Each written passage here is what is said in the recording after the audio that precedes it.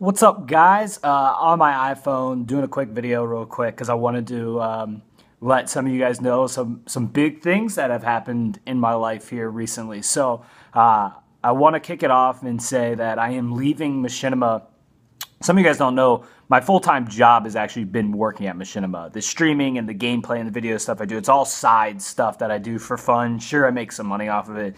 Not my, not how I make a living, not how I.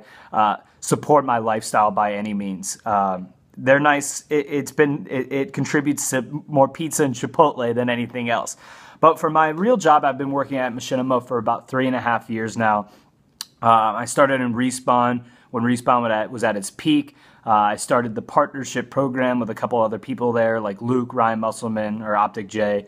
Um, and then I started the live business and the esports business. So all the esports programming that we've done at Machinima, all the live programming that we've done at Machinima, I basically have ran the team that puts that together, uh, that, that packages that to go out to market, to sell those campaigns and so forth. So that's what I've been doing as a job. Uh, that's my nine to five essentially.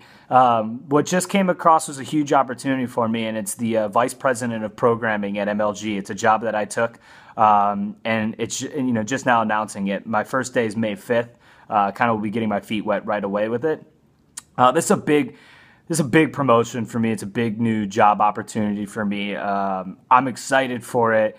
It also means that since I'll be working with MLG now, not Machinima, uh, I will be streaming on MLG.tv. So MLG.tv will be uh, MLG.tv slash Fwiz will have uh, I'll have a, a streaming you know, in the next couple weeks there. I'll probably do a couple more times on Twitch before it all transitions over. But that's where I'll be streaming now. I know a lot of other Call of Duty guys are out there.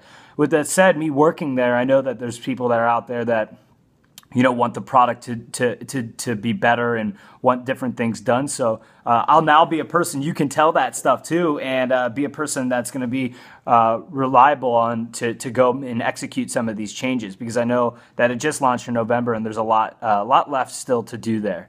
But um, I wanted to give you guys an update because it's, it's, definitely a moment that I'm really proud of. I've worked hard to, to move up um, from a corporate perspective. I've learned a lot. I've, I've tried to do big things and, and do well with those things. So it's an exciting day for me, and uh, I hope you guys are excited with me. And I wanted to share it with you so you guys can kind of understand, you know, the, the changes that I'm going through and the things that I'm going through. As far as with you guys, the content that I make and how that changes for you, it doesn't really at all. Um, other than the fact that I'll be on from Twitch TV to MLG TV uh, streaming, that sure that's a significant change. But like the videos and the highlight videos and stuff, I'll still be putting that up on my channel and some other stuff. But um, I wanted to thank all of you guys for for for kind of you know for supporting me over all these years and and whether it's watching me because I commentate or because of what I do as a job or because I stream whatever the case may be I appreciate you guys supporting me and I was excited to to share these changes with you. Uh, there's a link a press release uh, link down below if you guys want to read more about it but uh, or share it. But thank you very much and uh,